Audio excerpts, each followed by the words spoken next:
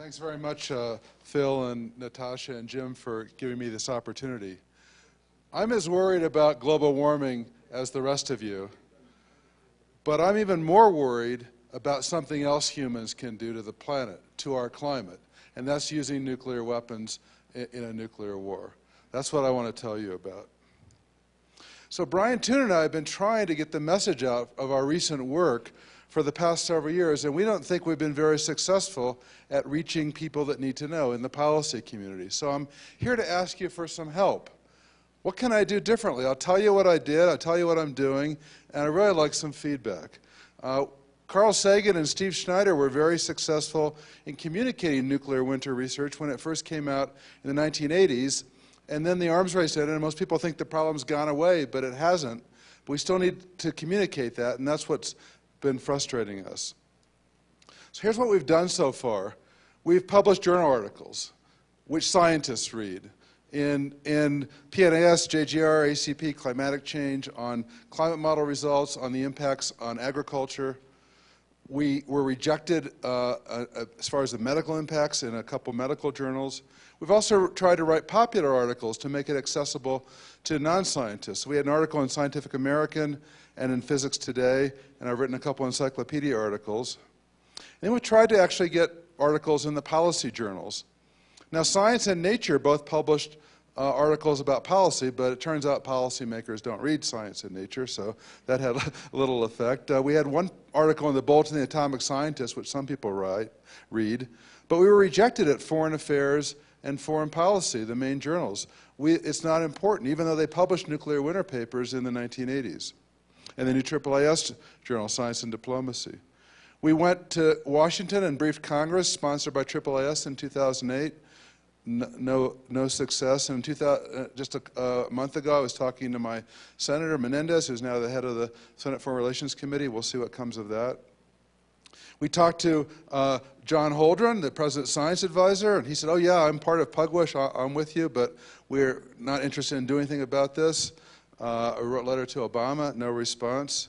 Uh, two years ago at the AAAS meeting, I organized a session on to honor Steve Schneider, and Ralph Cicerone was there, the president of the National Academy of Sciences, and we said, Ralph, could you do a National Academy study on this? It was very important in the 1980s that it looked at all the work. Yes, I agree. It's really important. I'm going to do a study, and but it, nothing, nothing ever happened from that. Uh, I, I, talked to Andy Revkin at the New York Times when our new work came out, he write an article about this, and a couple times he promised me he would write an article, and nothing happened. The last was he offered to do a Google Hangout, which still hasn't happened. We tried to submit op-eds to the major newspapers. All of them were rejected. Uh, I've given conference presentations at science conferences and public lectures, whenever anybody says, do you want to come give a talk, yeah, this is what I want to talk about. I made up a web page with all our results and some images. On YouTube, four and a half years ago, I put one of the movies of my results. It's gotten 19,000 hits, which I don't think is very many. Uh, Linda Williams told me you should do Twitter, so I started that a couple months ago. I have 191 followers now. Also, is not very many. And she fixed up so my I started a Facebook page, and my tweets go to my Facebook page, but I don't know how useful that is. So uh, I don't know what to do. How do you get people's attention? Uh, uh, we've asked Al Gore. He wasn't interested. Jim Hansen isn't interested. The people that really do get attention talking about climate science. Maybe I'll try Neil deGrasse Tyson, who's going to do, do, start Cosmos again next year. I'd like to do a TED Talk. Uh, but I haven't been invited. But there is TEDx, which is a, a local versions of TED, and I'm going to do a TEDx talk uh, later this month. So what I'd like to do for you now is a practice run of my TEDx talk. So pretend you don't know anything about climate, and I'd like to get some feedback from you. How effective is this? What can, is this a good thing to do? Am I wasting my time? What, what, what, how should I do it? So uh, here goes. Here's our beautiful planet. But after a nuclear war, it might look like this, with a black cloud of smoke covering the planet, uh, blocking out the sunlight, making it cold and dark at the Earth's surface, killing all the crops and producing famine.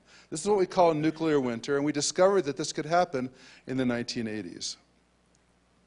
This nuclear winter would, would uh, prevent agriculture around the world and after your food was used up, there would be no more food.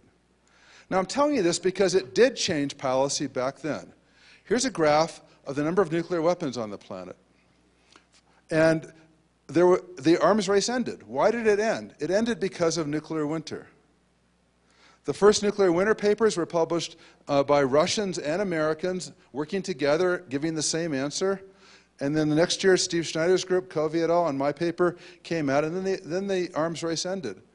There was a lot of discussion about nuclear winter at the time. It was quite controversial, and it made people realize what the direct effects of nuclear weapons would be. They're horrible enough, but this would be even more horrible. People without weapons would be affected too. And there was a lot of push to do it, and it ended. Now, there are other arguments of what ended the arms race. One is that the Soviet Union ended, but it didn't end until five years later. But we can do some research. We can actually ask the guy that made the decision. So Mikhail Gorbachev was interviewed in 2000. He said models made by Russian and American scientists showed that a nuclear war would result in a nuclear winter that would be extremely destructive to all life on Earth. The knowledge of that was a great stimulus to us, to people of honor and morality, to act in that situation. The, it's still a problem, though. People have forgotten that the problem still exists, and so I'm still frustrated that the problem isn't solved yet. It might have looked like it's a very small number at the end of this, but it's still 5,000 weapons on the planet. Now, what happens when a nuclear bomb goes off? It burns the cities that it's targeted in industrial areas, and the smoke goes up in the atmosphere into the stratosphere above where rain can wash it out, and it lasts for a long time. And unfortunately, we have examples of cities that have burned. So this is San Francisco in 1906, which burned after the the earthquake, Jack London was out on the bay and he wrote an article for the very popular uh, magazine Collier's. He wrote, Within an hour after the earthquake shock, the smoke of San Francisco's burning was a lurid tower visible 100 miles away. And for three days and nights, this lurid tower swayed in the sky, reddening the sun, darkening the day, and filling the land with smoke. I watched the vast conflagration from out on the bay. It was dead calm, not a flicker of wind stirred. Yet from every side, wind was pouring in upon the doomed city. East, west, north, and south, strong winds were blowing in upon the doomed city. The heated air rising made an enormous suck. Thus did the fire of itself build its own colossal chimney through the atmosphere. Day and night this dead calm continued, yet near the flames, when was often half a gale, so mighty was the suck. And forest fires also have pumped soot up into the stratosphere. This is what San Francisco looked like afterwards. All the buildings, except for the stone ones, had burned to the ground. This is a, a, drawing done by a survivor of Hiroshima. What they remember is the fires and the smoke. And this is what Hiroshima looked like afterwards. Jon Lomberg, who drew the other diagram, did this in the 1980s of what these plumes of smoke might look like at the beginning. And so uh, there are now nine nuclear countries in the world, and the rate's been going up rather rapidly. So it turns out our new work shows that it's not just the US and Russia we have to worry about. We have to worry about other countries that have many fewer nuclear weapons. Now there's nine, and other countries want them. So here's a table of the number of nuclear weapons in the world. Russia and the US each have about 10,000. These other countries, uh, France, China, Britain, Israel, have a couple hundred. Why didn't they make thousands? How many weapons do you have to put on a, the capital of your enemy to deter them from attacking you? One? Correct. So maybe you need two weapons in case one doesn't work. Why do you need tens of thousands? They aren't just like bigger bombs. We can also learn from why are there 32 more countries that have enough material to make these weapons that have chosen not to? What can we learn from that? It's not a secret how to make them. Now you'll notice India and Pakistan each have about 100. Imagine along the Kashmiri border, some soldier along the border sees something on the other side and shoots a gun, and the other one shoots back, and there's some miscommunication, and India and Pakistan move into a nuclear war using half of their nuclear arsenal. So 100 bombs. And we said, let's assume it's only Hiroshima sized bombs, which are very small. Brian Toon and Rich Turco asked me at an AGU meeting uh, a few years ago, what would we, we calculated how much smoke would come from this. And we'd like you to work on the climate response. So I ran a climate model, used the GISS, the GISS climate model for that. It turns out this would inject about 5 million tons of smoke into the upper troposphere, which would then be lofted up into the stratosphere and blown around the world. And our model showed it would last for a decade, much longer than we thought before, because the soot gets heated and goes up into the atmosphere. So we did this scenario, and here's a movie, and on you can see where the smoke goes. And on the left is a diagram of the vertical distribution. The black line is the tropopause, so it gets heated way above the, the uh, into the upper, uh, upper stratosphere and it lasts for, for the e-folding time is about, I won't say e-folding time in my TED Talk, the, but the e-folding time is about five years, and so uh, it lasts for a long time, uh, much longer than, than volcanic uh, smoke and volcanic aerosols. And so it covers the whole world. And so it turns out this is a danger to us on the other side of the world. We then took the data, we looked at, the, uh, at how much the temperature would go down, how much the precipitation would go down, how much the sunlight would go down, and calculated with crop models how it would affect agriculture. Uh, this is a, the global average temperature. I put, it, I put the, the red curve on the curve we know and love about global warming. First thing to say, this is not a solution to global warming. Uh, that idea is called geoengineering, which is probably also not a good idea. Phil's going to talk about that later. There are risks as well as benefits associated with that. This would produce, and, that, and geoengineering wouldn't kill uh, uh, 20 billion people like this scenario would. Uh, this would produce global climate change unprecedented in recorded human history. It would bring temperatures down below the little ice age temperatures. And I don't know if you looked at Richard's uh, curves. He was looking at the hot end of the curve, but there's a cold end of the curve too. And if you make it too cold, crops aren't happy with that either. So this is a table of our results. For the U.S., corn and soybeans, production would go down by 10 or 20 percent for a decade. Now, there was a, a, a, drought, a drought in Russia a couple years ago, and it got hot, and they stopped exporting wheat. You can imagine if there's this threat of, to the food supply, uh, China, rice production go down by 25% to the same level back when they had several hundred million fewer people. Countries would stop exporting, there would be a food catastrophe, and people now that depend on imported food would really be threatened by that. And our new results, looking at winter wheat in China, China is the biggest producer of wheat in the world, might be a 50% reduction. We haven't published that yet, but that's even really scary. Even the, even the countries, uh, that, that might be even worse. So now there's chronic malnutrition. About a billion people don't get enough food to eat every day. And so maybe 2 billion people might be dead from starvation from this scenario of a, quote, small nuclear war between countries on the other side of the world that have global implications. Now, Ira Helfand, uh, a physician who's active in this, wrote an article about our results last year and was able to show them to Mikhail Gorbachev. And Gorbachev said, I'm convinced that nuclear weapons must be abolished. Their use in a military conflict is unthinkable. Using them to achieve political objectives is immoral. Over 25 years ago, President Ronald Reagan and I ended our summit meeting in Geneva with a joint statement that nuclear war cannot be won and must never be fought, and this new study underscores in stunning and disturbing detail why this is the case.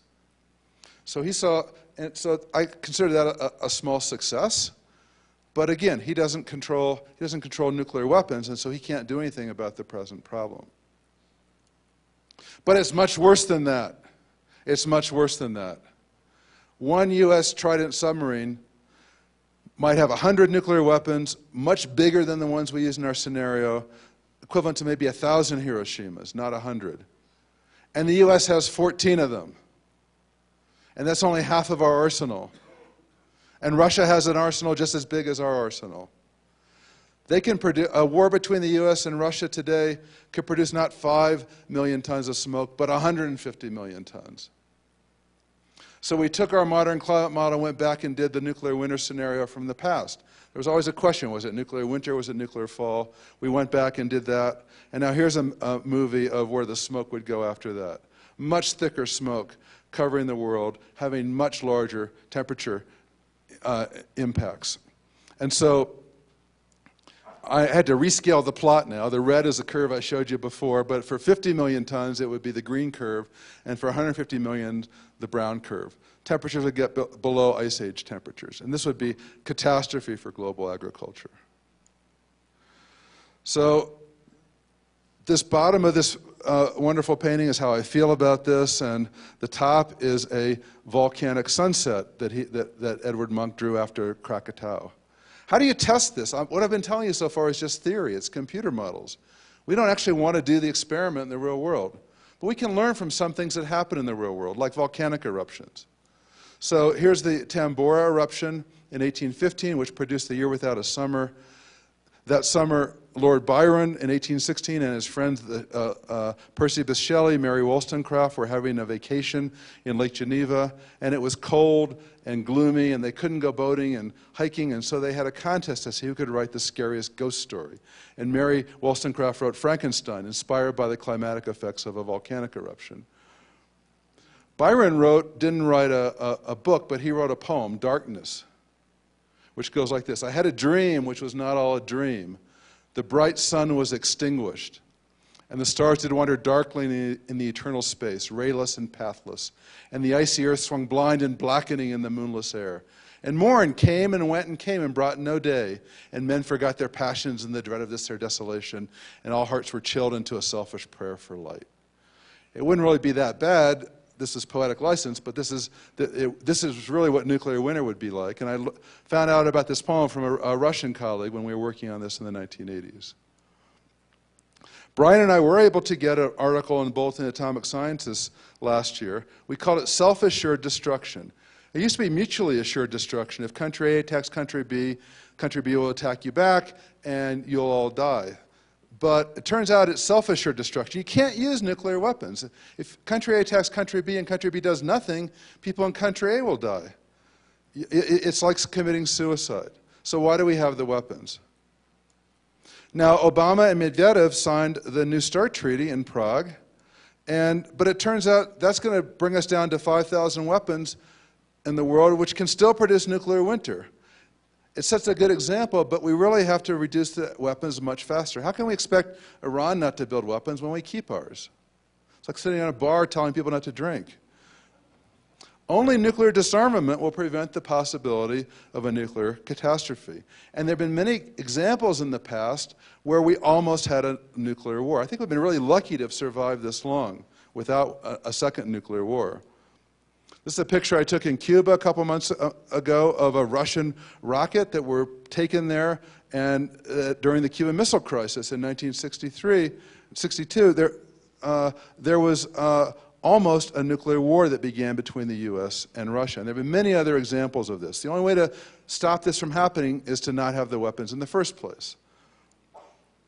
Now, in a very surreal experience, Fidel Castro invited me to come down to Cuba and talk about this a couple years ago. And here's a, a photo of me giving a, an hour long version of this talk, uh, signed by him. And uh, nine days later, in his blog, he wrote While the United States and Russia each committed to reducing their nuclear arsenals in Prague, the only way to prevent a global climate catastrophe from taking place would be by eliminating nuclear weapons.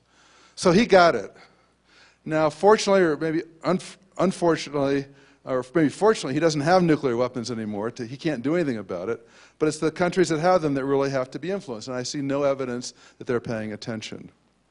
There, Norway hosted a conference on the humanitarian impact of nuclear weapons earlier this year, and 132 nations attended and agreed that we, there should be a ban on nuclear weapons. There's a ban on chemical weapons, there's a ban on biological weapons, but the worst weapons of all, there's no international ban on nuclear weapons. Why is that? They presented our results. That was very useful. There's going to be a, a meeting in Mexico next year to continue this. And at a UN meeting uh, in April, uh, other countries are calling for this. But the problem is, how does it feel? It feels bad. I mean, I'm sorry. Uh, it's been a real bummer uh, to telling you about this. The natural reaction is just to forget about this, to pretend it didn't happen, to go drink at the, at the uh, uh poster session and try and forget about this. But there's really something you can, as Mark Twain said, denial ain't just a river in Egypt. Uh, people thought that the nuclear winter problem was solved, but it's not. It's a simpler problem to solve than global warming because you only have to get rid of a few thousand weapons. It's not like changing the whole energy structure of the planet. So let's solve this so we have the luxury of worrying about global warming. And if, you, and if you want to do something personal, you can join ICAN, the International Campaign Against Nuclear Weapons, which is just starting up in the United States. Thanks.